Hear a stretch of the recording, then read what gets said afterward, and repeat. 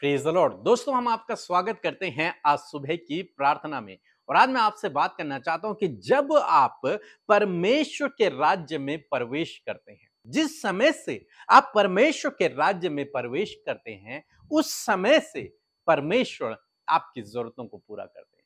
परमेश्वर आपके लिए फिर उपाय करते हैं। परमेश्वर फिर आपके लिए प्रबंध करते हैं। क्योंकि तब आप परमेश्वर की ज़िम्मेदारी हो जाते हैं। क्योंकि तब आप परमेश्वर के नागरिक हो जाते हैं, उसके राज्य के नागरिक हो जाते हैं। अब परमेश्वर की रिस्पॉन्सिबिलिटी है कि आपकी जरूरतों को पूरा करे, आपके लिए प्रबंध करे, आपके लिए उपाय करे। हम लोग यहुना रचे सुसमाचार उसके छह अध्याय में एक से पंद्रह पद तक देखते हैं कि एक बार यीशु मसीह के पास एक बड़ी भीड़ चलकर आ रही है। और जब यीशु मसीह उस भीड़ को देखते हैं तो यीशु मसीह फिलिपुस से कहते हैं फिलिपुस इतनी बड़ी भीड़ के लिए हम खाना कहाँ से लेकर आएँगे? क्यों आखिर यीशु मसीह ये कह रहे? क्या यीशु मसीह बिना खाना खिलाए उन्हें वापस नहीं भेज सकते? वचन सुनाया और जाओ, तुम अपने अपने घर जाओ, अपना अपना खाना खाओ। लेकिन क्यों उस बड़ी भीड़ के लिए भी यीशु मसीह वहाँ पर भोजन की व्यवस्था करते हैं, भोजन का प्रबंध करते हैं? क्या कारण है? क्योंकि जो कोई प्रभु के पास आता है, जो कोई प्रभु की करीबी में आता है, जो कोई प्रभु की निकटता में आता है, वो परमेश्वर की प्रॉपर्टी बन जाता है, वो परमेश्वर की ज़िम्मेदारी बन जाता है और तब परमेश्वर की ज़िम्मेदारी है उनके लिए प्रबंध करना, उनके लिए उपाय करना, उनकी जरूरतों को पूरा करना। क्यों? क्योंकि वो परमेश्वर के पास आए हैं। इसलिए परमेश्वर की ज़िम्मेदारी है। यदि कोई व्यक्ति हमारे घर में आए चाहे वो दस दिन रुकने के लिए आए, लेकिन उसको भोजन खिलाना किसकी ज़िम्मेदारी है? हमारी ज़िम्मेदारी। उसके लिए बाकी चीज़ों की व्यवस्था करना किसकी ज़िम्मेदारी है? हमारी ज़िम्मेदारी है। क्यों? क्योंकि वो हमारे पास आया है, क्योंकि वो हमारे घर में है। इसलिए हमारी ज़िम्मेदारी है उसकी जरूरतों को पूरा करना। इसी प्रकार से ये बड़ी भीड़ प्रभु के पास आ रही है। इसलिए प्रभु की ज़िम्मेदारी बनती है इनकी जरूरतों की पूर्ति करना। और प्रभु न केवल इन्हें भोजन खिलाते हैं, बल्कि इन्हें आत्मिक भोजन भी देते हैं और इनको चंगा भी करते हैं। जो बीमार हैं, जो परेशान हैं, उनके लिए प्रार्थना भी करते हैं। तो मेरे कहने का मतलब है, इसी प्रकार से जब आप भी प्रभु के पास आए, जब आपने भी प्रभु को स्वीकार किया है तो अब परमेश्वर प्रभु यीशु मसीह की ज़िम्मेदारी बनती है, आपकी जरूरतों को पूरा करना, आपके लिए उपाय करना आपके लिए प्रबंध करना है। क्योंकि आप संपूर्ण हृदय से यदि प्रभु के पास आए हैं तो वो आपके लिए प्रबंध करेगा, आपके लिए उपाय करेगा। प्रभु यीशु मसीह ने अपने चेलों को भेजा सुसमाचार प्रचार करने के लिए। और जब प्रभु यीशु मसीह ने अपने चेलों को भेजा तो उनसे कहा कि अपने साथ में कुछ भी मत लेके जाना। पैसे, रुपए अपने साथ में कुछ मत लेकर जाना। सोना, चांदी कुछ नहीं। दो दो कुर्ते भी नहीं। झोला भी मत लेके जाना। क्यों मत लेके जाना? क्यों मना किया प्रभु यीशु मसीह ने? तब लिखा है कि मजदूर को उसकी मजदूरी मिलना आवश्यक है। मीन्स तुम मेरे काम के लिए जा रहे हो तो तुम्हारी जरूरतों की पूर्ति करना मेरा काम है। ये मेरी रिस्पॉन्सिबिलिटी है। यदि तुम मेरे कार्य के लिए जा रहे हो तो मेरी रिस्पॉन्सिबिलिटी है तुम्हारे लिए प्रबंध करना, तुम्हारे लिए उपाय करना, तुम्हारी जरूरतों की पूर्ति करना आज जब आप प्रभु यीशु मसीह के पीछे चल रहे हैं, प्रभु यीशु मसीह के कार्य को कर रहे हैं तो परमेश्वर की ज़िम्मेदारी है, वो आपकी जरूरतों को पूरा करे। बसरते आप उसे इस नज़र से तो देखें कि मैं उसका काम कर रहा हूँ, मैं उसके राज्य का सिटीजन हूँ, मैं उसके राज्य का नागरिक हूँ, मैं उसका जन हूँ, मैं उसका बेटा बेटी हूँ, इसलिए वो मेरी जरूरतों को पूरा करेगा निश्चय वो करेगा। मध्य जी सुसमाचार उसका छह अध्याय इकतीस बत्तीस पद कुछ इस प्रकार से कहता है, इसलिए तुम चिंता करके ये ना कहना कि हम क्या खाएँगे या क्या पिएँगे या क्या पहनेंगे? क्योंकि अन्य जाति इन सब वस्तुओं की खोज में रहते हैं, पर तुम्हारा स्वर्गीय पिता जानता है कि तुम्हें इन सब वस्तुओं की आवश्यकता है। आमीन। दोस्तों, यहाँ पर परमेश्वर का वचन कहता है कि तुम किसी भी बात की चिंता मत करना। ये मत कहना हम क्या खाएँगे, क्या पिएँगे। अपने प्राण की भी चिंता मत करना।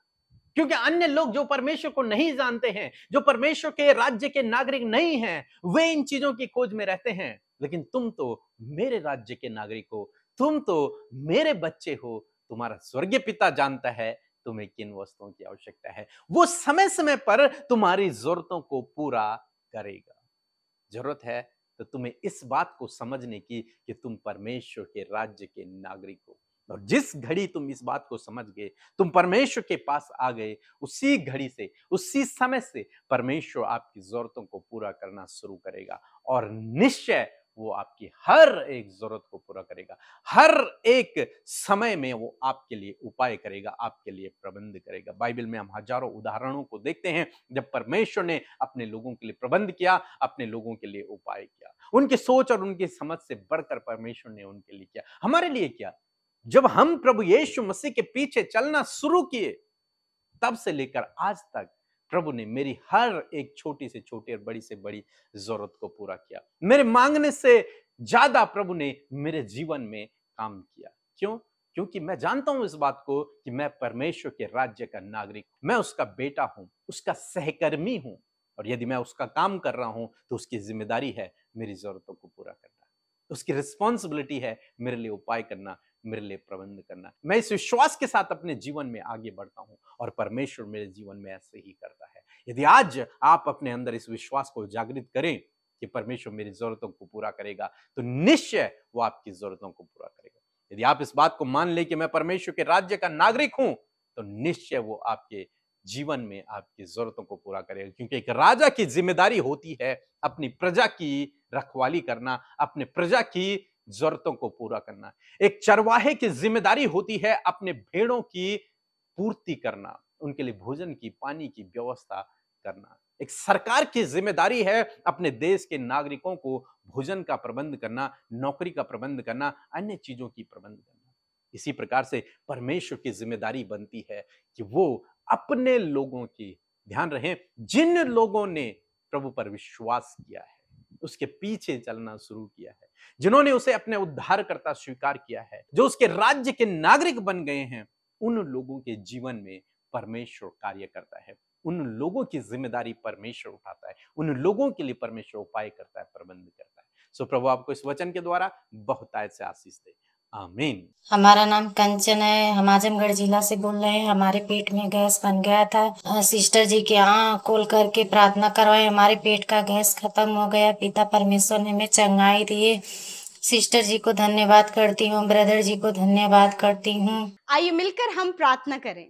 धन्यवाद धन्यवाद धन्यवाद करते हैं प्यारे पिता। हम आपका आदर सम्मान करते हैं पिता। अपने जीवन में पहला स्थान हम आपको देते हैं यीशु मसीह। धन्यवाद करते हैं प्रभु कि आज की सुंदर सुबह, प्रभु तेरी दया, तेरे अनुग्रह से हम सबने देखी है प्रभु। मैं धन्यवाद करती हूँ पिता, पुत्र, पवित्र आत्मा अपने जीवन से आपको धन्यवाद देते हैं परमेश्वर। और आज की सुबह के लिए धन्यवाद करते प्रभु कि तूने रात भर अपने पंखों की आड़ में आग की सी सहरपना बनकर प्रभु हम सब की हिफाजत की प्रभु इस बात के लिए धन्यवाद। धन्यवाद। प्यारे परमेश्वर पिता, इस बात के लिए धन्यवाद कि आज का नया दिन प्रभु तेरी दया से हम सबने देखा है। हम जीवित हैं, ये तेरी महाकरुणा का फल है परमेश्वर पिता। प्यारे प्रभु, हर एक जन पिता परमेश्वर, आज की सुंदर सुबह में प्रभु, अपने हृदय से परमेश्वर पिता तैयार हो सके प्रभु, इस प्रार्थना में शामिल होने के लिए प्यारे प्रभु, आज जितने भी भाई, बहन, बच्चे, नौजवान, बुज़ुर्ग लोग हमारे साथ इस सुबह की प्रार्थना में शामिल हैं, प्रभु यीशु नासरी के नाम से तेरी उपस्थिति उनके साथ में हो, तेरा पवित्र आत्मा उनके साथ में हो,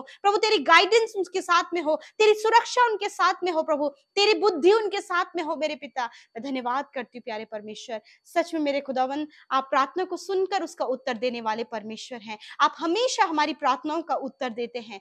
धन्यवाद करते प्यारे प्रभु। आज के दिन में प्रभु, मैं प्रार्थना करती हूँ प्रभु, आपकी इच्छा हम सबके जीवनों में पूरी हो। पिता, अपनी ज्ञान, बुद्धि, समझ से हमें भरे परमेश्वर पिता, आज के दिन में अपनी शांति, अपना आनंद, अपनी सामर्थ, अपने प्रोटेक्शन को प्रभु हमें दे मेरे खुदा। मैं प्रार्थना करती हूँ प्रभु, सच में प्रभु, आज के दिन में तेरे फेवर को हर एक जन, अपने परिवार, अपने बच्चों के जीवन में तेरी तरफदारी को देख सके पिता, तेरे सपोर्ट को अपने जीवन में देख सके परमेश्वर पिता। हाँ मेरे प्रभु, सच में तू सुरक्षित करने वाला संग संग चलने वाला ऊँची ऊँची भूमि को चौरस करने वाला परमेश्वर है पिता, मैं धन्यवाद करती हूँ। आज के वचन का प्रभु हम अपने जीवन में आदर करते हैं। सच में प्रभु, इस सुबह में प्रभु, मैं प्रार्थना करती हूँ एक एक जन परमेश्वर पिता, तेरे वचन को अपने जीवन में रिसीव कर सके। तेरे वचन को जब उन्होंने सुना है तो अपने हृदय में उसे जगह देने वाले हो सके पिता। हाँ प्रभु एक एक शब्द जो तेरे मुख से कहा गया है एक एक वचन जो तेरे द्वारा कहा गया है, परमेश्वर वो हम सबके जीवन में पूरा हो। पिता, धन्यवाद कि हम स्वर्ग के नागरिक है मेरे पिता, मैं धन्यवाद करती हूँ। प्रभु तो हमारे आवश्यकताओं को जानता है पिता परमेश्वर प्रभु। आपने कहा इस बात की चिंता मत करो और इस इस बात को न कहना कि हम क्या खाएँगे, क्या पिएँगे क्या पहनेंगे, क्योंकि प्रभु तो हमारी आवश्यकताओं को, हमारी नीड्स को, हमारी जरूरतों को जानता है। क्योंकि प्रभु हम तेरे नागरिक हैं और प्रभु जब हम तेरे नागरिक हैं तो प्रभु तू हमारी सारी जरूरतों को पूरा करने की ज़िम्मेदारी रखता है परमेश्वर पिता। मैं प्रार्थना करती हूँ, आज हर एक जन प्रभु इस बात का विश्वास करने पाए प्रभु जी कि पिता वो स्वर्ग का नागरिक है, वो परमेश्वर का बेटा और बेटी है, परमेश्वर की ज़िम्मेदारी है कि वो उनकी जरूरतों को पूरा करें। हाँ मेरे यीशु मसीह। तेरा वचन कहता है तो यहुआ ईरे है, उपाय करने वाला परमेश्वर है। प्रभु तो अपने लोगों के लिए उपाय कर। प्रभु, आज जितने भी लोग प्रभु उपाय के लिए प्रार्थना कर रहे हैं, जीवन के जिस भी क्षेत्र के लिए प्रभु वो उपाय चाह रहे हैं परमेश्वर कि उनके लिए उपाय हो, उनके लिए इंतज़ाम हो तो परमेश्वर तेरा उपाय इन भाई बहनों के लिए, इनके परिवार, इनके बच्चों के लिए होने पाए पिता। एक बेस्ट कॉलेज का इंतज़ाम आप करें। प्रभु, आप इनके कर्जों को दूर करें, इनके लिए फाइनेंस की व्यवस्था करें, अच्छे जॉब का प्रबंध करें परमेश्वर, अच्छे जीवन साथी का प्रभु, अच्छे बच्चे की, संतान के आशीष को पिता आप इन्हें दे मेरे प्रभु। हर एक जन को प्रभु आप प्रोवाइड करें। प्रभु, जो भी इनकी ज़रूरत है, उसे आप प्रोवाइड करें। आज के दिन की ज़रूरत प्रभु तेरे ओर से इनके लिए पूरी होने पाए पिता। प्रभु, मैं दुआ करती हूँ प्रभु, बहुत से लोग प्रभु अपने खाने, पीने, अपने पहनने के लिए प्रभु जी, अपने बच्चों के लिए, उनके जॉब के लिए, उनके लाइफ के लिए प्रभु बहुत सी बातों के लिए चिंतित है। परंतु पिता, तेरा वचन कहता है कि तू इनकी आवश्यकताओं को जानता है। प्रभु यीशु नासरी के नाम से इन भाई बहनों ने आज अपनी आवश्यकताओं को खुलकर आपके सम्मुख रखा है। पिता यीशु नासरी के नाम से, इन भाई बहनों की सारी जरूरतें प्रभु तेरे नाम से पूरी होने पाए पिता। सच मेरे प्रभु यीशु मसीह, आज जितने लोग प्रार्थना कर रहे हैं प्रभु, उन सब की प्रार्थना को आपने सुना, उत्तर हाँ आमीन में दिया। क्योंकि पिता परमेश्वर, आप अपने नागरिकों की, आप अपने बेटे बेटियों की, आप अपने चुने हुए लोगों की सारी बातों को पूरा करते परमेश्वर पिता। आज प्रभु जितने लोग अपनी चंगाई को मांग रहे हैं प्रभु, पिता जब वो दुष्ट आत्माओं से ग्रसित है प्रभु जी, छुटकारे को चाह रहे हैं प्रभु, यशु नास्ती के नाम से प्रभु दुष्ट आत्माएँ इन्हें छोड़कर चली जाए। हर प्रकार के दुष्ट के कार्य इनके परिवार, इनके बच्चों को छोड़कर चले जाए। इसी वक्त हम आज्ञा देते हैं मती अठारह, अठारहवीं आयत के अनुसार दुष्ट के हर एक बात को, उस आत्मा को हम मती अठारह के अनुसार बांधते हैं। और अथाह कुंड में जाने की आज्ञा देते हैं। परमेश्वर इनके परिवार को हर प्रकार के दुष्ट के कार्यों से आज़ाद करे पिता। यीशु नासरी, मैं प्रार्थना करती हूँ पिता, प्रभु, आज जितने लोग बीमार हैं, यीशु के नाम से उनकी बीमारियाँ इसी वक्त निकल कर चली जाएँ। छोटे बच्चे इसी वक्त चंगे हों, नौजवान इसी वक्त चंगे हों, बुज़ुर्ग लोग इसी वक्त चंगे हों, हड्डियाँ, मांसपेशियाँ नशे यीशु के नाम से चंगी हों, जिनको इन्फेक्शन है लिवर इन्फेक्शन है, उनका लिवर हील हो जाए इंटेस्टाइन हील होने पाए पैनक्रियाज हील होने पाए किडनी हील हो जाए हार्ट हील हो जाए, लंग्स हील हो जाए यीशु के नाम से। प्रभु, जिनकी रीढ़ की हड्डी में प्रॉब्लम है, यीशु के नाम से वो चंगे हो। माइग्रेन की बीमारी, tumour, cancer, paralyse, stone problem, piles की बीमारी यीशु के नाम से दूर होने पाए। प्रभु, धन्यवाद। आपने हर एक रोग को दूर किया। धन्यवाद, आपका वचन कहता है मैंने आप तुम्हारी दुर्बलता को ले लिया और बीमारियों को उठा लिया। इस वचन को प्रोक्लेम करते और धन्यवाद करते हैं। एक एक के रोग, दुर्बलता, कमज़ोरी को अपने ऊपर लेकर प्रभु तूने चंगा किया है। इस बात पर विश्वास करने में आप सहायता करें। और आज के दिन में प्रभु जहाँ कहीं तेरे लोग जाए, स्कूल, कॉलेजेस, जॉब में, प्रभु जहाँ कहीं भी तेरे लोग जाते हैं, प्रभु उनके संग संग आपकी सुरक्षा चाहते हैं। प्रभु उनकी सहायता करें। हर प्रकार के फ्रॉड से, हर प्रकार के गलत लोगों से, हर प्रकार के नुकसान से, हर प्रकार के धोखे से, हर प्रकार की प्रभु नाम धराई से प्रभु आप अपने लोगों को बचाएँ और इनके लिए सब कुछ का प्रबंध करें प्रभु यीशु मसीह। इनके जॉब के क्षेत्र में प्रभु आप इन्हें सिर ठहराएँ परमेश्वर। आप प्रभु यीशु मसीह हर एक क्षेत्र में प्रभु ये दूसरों के लिए आशीष का कारण होने पाए और इनके कारण प्रभु बहुत से लोग प्रभु तेरे राज्य में शामिल हो। जिस प्रकार हम सब प्रभु स्वर्ग के नागरिक बन गए हैं प्रभु, उसी प्रकार आज संसार में जितने भी लोग हैं प्रभु, उन तक पहुंचकर प्रभु उन्हें भी तेरी नागरिकता को समझाने के लिए प्रभु, हर एक को आप इस्तेमाल करें। तेरे राज्य को बढ़ाने के लिए इस्तेमाल करें प्रभु। जितने लोग सेवकाई करते उनकी सेवकाई पर आशीष हो। जितने लोग हमारे साथ मिलकर प्रभु, तेरे वचनों को बांटते प्रभु, उन्हें आशीष दे पिता। प्रभु, जिन्होंने आपके राज्य में बोया है, उन्हें फलवंत करे प्रभु। आज जितने लोग कर्जे में है प्रभु, उनकी जरूरतें पूरी नहीं हो पा रहे। आज आपके वचन के अनुसार उनकी सारी जरूरतें आप जानते हैं। आप पूरा करें पिता। धन्यवाद करते पिता। यीशु मसीह, हर एक जन को पिता, आप बढ़ाएँ, फलवंत करें, आशीषित करें पिता। धन्यवाद करते कि आपने हम सब की विनती प्रार्थना को सुना। उत्तर हाँ आमीन में दिया। यीशु के नाम से प्रार्थना मांगते सुने और ग्रहण करें। आमीन आमीन और आमीन।